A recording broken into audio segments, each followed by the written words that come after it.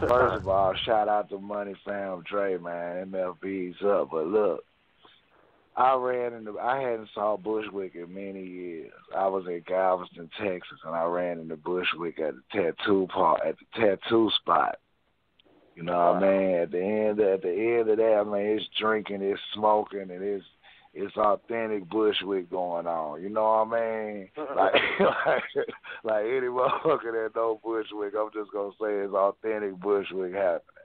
So at the end of the day, we both know the tattoo dude. Matter of fact, the tattoo dude played um um Dennis the Menace in the Dennis the Menace movie. He played Dennis. Wow. The dude I'm talking about. You know what I mean? So we both fucking with him. So Bushwick ended up getting into it with the motherfuckers at the damn tattoo place and it just shit was the break out in the tattoo place. So I ended up taking Bushwick there with me. I'm talking about it's five in the morning. We go to the studio at five in the morning. We in there to nine in the morning, like drunk.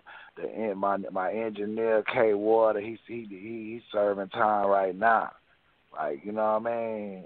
One free K Water, man. Like real talk, free my nigga. You know what I mean? But this night we went in there. He was liquor poison. We still got that session done. And Bill What wanted to do it. Me and, poison? me and him had, huh? No, um, K Water. He kind of was like Oh. liquor poison that night. He couldn't even, you know, turn the knobs good. I was like, "Stop, please get up, man. I got Bushwick in this motherfucker. We got to get this shit done." Like he got the strength to get that shit done, and I and um, you know, we did that shit. You know what I mean? You know, I actually wrote the Bushwick verse.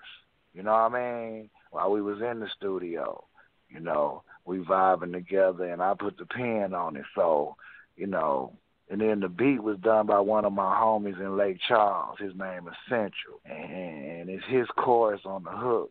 And I had to just tell y'all this story because it's just how it happened. I get in the studio with Bushwick. I don't know what the fuck to put him on.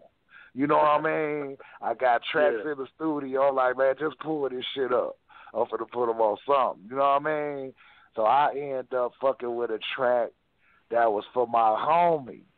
Because it wasn't nothing on it. You know what I mean? And and I was like, fuck it, we finna rap on this shit. So when Bill did the song on that, then I had to go get with my nigga to let him know, man, can I keep this shit? Because I done put Bushwick on this motherfucker. So he blessed me to keep the jam. He on the hook. He produced the track, and we got Bill on that motherfucker, man. And I just had to tell that story.